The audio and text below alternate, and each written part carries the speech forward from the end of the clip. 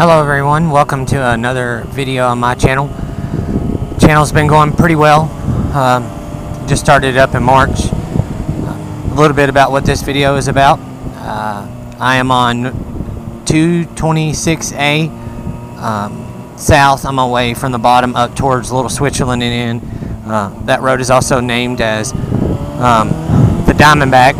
Just got on here. Um, it's my first time riding this road most of the way I come down here since I live in the Tri-Cities area of East Tennessee is I come up by past Roan Mountain, uh, past a little small town there, and then come up, oh lord, bunch of gravel on the road, um, and pull it up um, most of the way here on 221 South, I believe it is. It's a pretty good little ride. It's a little two-lane, kind of rural, um, not a whole lot of traffic. It's not really that uh, many curves as this is so far, but pretty good way to get there um, with not a lot of traffic. Did um, counter a few cars, but not too bad. So far, uh, been a good day. Of course, now people got the grass on the yard too. Road, I mean, thanks. Um, been a good day of riding. I've already rode I'm right at 60 miles in just uh, a couple hours, so been doing a good bit of riding today and do a lot more by the time I'm done with this road. And then I think what I'm going to do after this is once I get to the top at Little Switzerland Inn, I think after this, what I'm going to do is I'm going to just pick out the Blue Ridge Parkway. It is an absolute gorgeous day here in the Tri Cities um, in late August. Um, granted, it is a little warm, but it's better than raining and being uh, stuck inside and looking outside and being wishing you're riding and enjoying the, the weather because before you know it, here, you know, several months um, from now, around after Christmas, it'll be snowing and it'll be cold and all these people that know that know they like to ride like myself enjoy it. Uh, be wishing they were riding in instead of looking at the bike sitting in the garage and looking outside. I know i go through that myself and just waiting to get a new riding season started. Um, but this is my uh, second year with this bike. I'm riding. It's a 07 yamaha FZ6 which is a 600 inline four cylinder uh, it's basically a naked bike with a nose fairing. Um, a lot like an SV650 is with a nose fairing, but a different motor. Um, really have enjoyed this bike a lot. It's it, it does everything well. It doesn't necessarily, you know, I wouldn't really say that it would be great for, you know, racking up, you know, five six hundred miles in a day. But for little day trips, two or three hundred miles in a day, it does everything well. Um, not too uh, bad wind buffeting on interstate speeds and even on the interstate. These little back roads like this, it just, you know, you just can't get enough of this stuff. This is what riding a motorcycle is all about. Being away from all the hustle and bustle every day and just getting out and enjoying being outside and being one with Mother Nature. You know, motorcycling, uh, for those of you who ride and for those of uh, you that don't ride, I can tell you this it is the most pure uh, form of, and pure and form of transportation at the same time. Basically, you're sitting on a motor mounted in a frame with two tires on it, and that's it. No matter if it's you know a bike with a lot of electronics and stuff like that, but I have absolutely enjoyed riding myself. Um, coming up on the end of my uh, end of my second full season riding. I previously had a Suzuki uh, GS 500F, the fairing one, for this, and and that was a really good bike. I, th- I think some people, depending on what they want to do on that bike, would be much happier with that as a first bike than, say, a 250 or even one of the new, like Yamaha R3s. Because, you know, not that the R3s are bad, and, you know, not everybody likes different things, but eventually, unless, you know, eventually, once you get used to riding, not that you're going to ride really aggressively some people might, some people do. Know, it's just it's whatever you enjoy and whatever you're comfortable with. But that bike right there, I think you'll be happier with over long term. You could probably even ride that bike for a couple seasons to really get, you know, a lot of uh, the riding basics down before you get into something with a lot of horsepower and get yourself hurt. Because you know, although motorcycling is fun, it doesn't take a whole lot of skill, but you just what I tend to do myself is is I don't ride above my head. You know, I if something makes me uncomfortable, I just slow down. You know, some people, you know, they may ride fast and they may enjoy it, but I never really have been like that. Even when I grew up riding fours and jet skis and stuff, I just enjoyed being outside. Um, of course, you know, granted, ever even myself, I'll I'll play around a little bit here and there. But you know, I'm a parent. Uh, I have children, and at the end of the day, more gravel on the road. And at the end of the day, it's about making sure you come home from them. I mean, granted, I'm all for anybody having any kind of fun, but if anybody's watching this who is a parent, you know exactly what I'm talking about.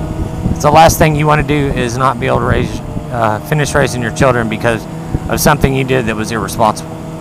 Granted, riding motorcycles in itself is irresponsible, and you know can can get you kind of messed up. But if you just if you you know just kind of don't ride above your head, like I said, and just you know some things that you don't feel comfortable with, just slow down.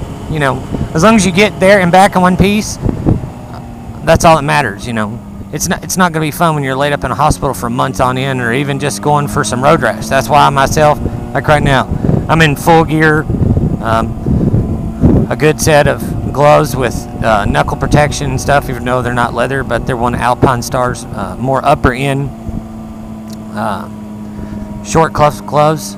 Um, I'm wearing a Taichi uh, RS Core 1 jacket and a pair of textile riding pants. One of these days I'll end up getting me some other pants, but these are still a lot better than uh, just pure blue jeans, you know. and then I've got uh, Alpinestar uh, boots, SMX 3s, I believe it is. It's basically just a mid boot, um, kind of like right up from the the short riding boot that Yamaha makes. Tell you what, I haven't seen any traffic or anything on this road. It's been pretty fun, other than a couple little gravel spots.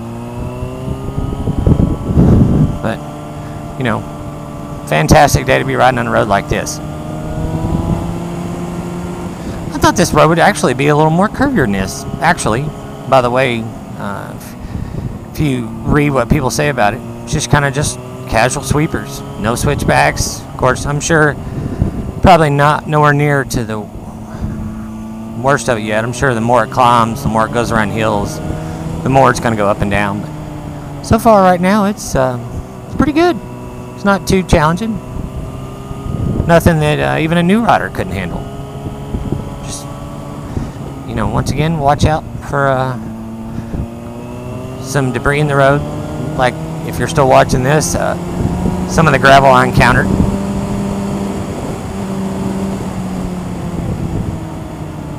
Tell I'm going up the mountain because I'm almost right underneath it now. Ooh, look at that rock. That's pretty cool. But uh, I am very blessed to live in an area where you could literally um, you know, I can be at uh, tail of the dragon or even the back of the dragon or any of that, and you know, depending on where you want to go, in two or three hours, you know, just ride in some. It's some absolute. What the world's going on there? Just ride in some absolute fantastic uh, places to ride. Blue Ridge Parkway, um, you know, just an hour, about an hour and a half uh, to pick it up for Grandfather Mountain by where I live. It's another really pretty place even though it's just a park, it's Grandfather Mountain.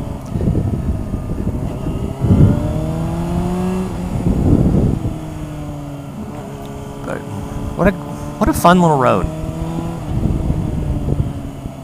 I've rode uh, 421 is also really close to me. I can be there in about 45 minutes. 421 store, and this is proving to be, I think, even better than 421 because it's not so you know, so many low low speed corners. Of course, it's getting worse, but 421 is just so many switchbacks, and I think you know, although 421 is a good road, I don't know that it lives up to all the hype because people go there and they they have fun and stuff like that. But I think a lot of people that enjoy 421 are the people that really ride super aggressive, you know, dragged knee stuff like that. And,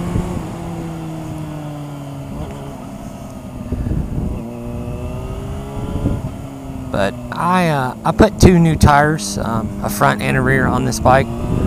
Beginning of this riding season, and so far they're not really showing very many, very much signs of wear. Of course, I think I've only ridden about mm, well, I've rode about six or seven thousand miles this riding season. Not a whole lot because I don't have that much free time. But I think I've put about almost 3,000 miles on these tires, and I, I think, oh, I'm trying to remember. I think I put one on around Fourth of July or something like that, and um, they've done pretty well. They are Michelin Pilot uh, Road fours. You know, kind of a good, pretty good sport touring bike. Some you get a lot of mileage out of. Um, if he was to get caught out in the rain in them, they um, they're supposedly a very good uh, rain tire. Of course, not all of us plan to go riding in the rain, uh, especially on little day trips like this. You're probably really not going to encounter it unless you just unless it's like today where there's not absolutely a cloud in the sky. But it seems like uh, they're supposed to do really well. They have a lot of a lot of things to get all the water out of the out of the tread and all that stuff. So we'll see. But uh, so far, this road's been been pretty fun. Been been worth an hour. Or well, let's see, uh, about close to two hours to get here, but it's been pretty fun. I've uh, enjoyed the day of riding once again. You a bad day of riding as long as uh, you don't have problems with the bike or don't lay the bike down and get hurt. But a bad day of riding, even if you really don't really see anything, is a lot better than a, a good day at work. Really getting some elevation now. It's cooling off. Just you know, shade. It's, uh, it's quite nice. I'm sure uh, places like this and all the overlooks of the Blue Ridge Parkway that I really didn't get to ride very much last year, but I have rode some more this year. Um, I'm sure um, Blue Ridge Parkway and stuff in the fall here, when all the leaves actually change the rest of the way, is absolutely gorgeous. Another thing that I might as well talk on while I'm talking to everyone riding is I recently uh, purchased a drone, um, a Phantom 3 Professional, uh, and the Phantom 3 Professional has a 4K uh, camera. And I think I've uploaded three. I'm gonna upload another one uh, in the next day or so. That'll make a total of four. And I tell you what, um, I have uh, I've, I've enjoyed that a lot. You know, it's it's pretty easy to fly. You still have to pay attention to what you're doing, stuff like that, and you know, not be dumb, be like, oh, I'm gonna miss that tree and hit it, of course. But you know, as long as you fly with a little bit of common sense, uh, it's proven to be um, pretty user friendly. But I myself, I raced uh, nitro RC cars. When I say nitro, one with actual motor itself, and um, electric ones for several years um, before I moved here, and still from time to time uh, do it here and there. Although motorcycling is taking up a lot of that because I'd rather ride sometimes than uh, go out and race uh, RC cars, but that's okay. You know, um, may try to do some more of it uh, next year something. But anyways, uh, sorry to get off topic. Uh, the Phantom 3 uh, professional uh, that I have, found a really good deal on it. Um, actually, on Best Buy's website, they had uh, the better deal on it than uh, anyone else I found, believe it or not. And you can actually do a store pickup or just have it delivered to your house, free shipping. I want to say I ordered it that day, and two days later it was at my house. So I'm sure it come from a Best Buy warehouse or, or something somewhere. But I actually find found it for the about the same price as um, I want to say it was just uh, like 635 with tax. More gravel here, but up until a couple weeks before that, when I really uh, made a decision to purchase one, uh, I saw the Advance, which is the middle of the road. It doesn't have a 4K camera. It just has, it'll just support up to 1080, and um, and I was gonna go with it just because it's a little bit cheaper and better in my budget because um, it'll basically do just about all the same stuff the 4K one will do. And um, turns out, um, found the professional with a 4K camera and everything for about the right at the same price as the Advance, which is the middle of the road. Um, those of you don't know, Phantom uh, Phantom 3 uh, by DJI, uh, they have um, a standard, which is just a it's not that it's any cheaper, it just doesn't have as many bells and whistles and stuff. But it's still pretty close, basically, to be the same drone as even the professional like mine. Um, just a small differences on stuff. But uh, that one, I, I want to say that one is only like 300 maybe $350 i'm not sure don't quote me on that but um yeah there's there's so many cool areas to fly over and mountains and lakes and stuff here where i live at and so much good scenery to make really good videos and not really even to upload them all you know just to share a place you went and have that for memories or just whatever you know mine itself on a full battery um, I never really push the battery down really low, but it'll um,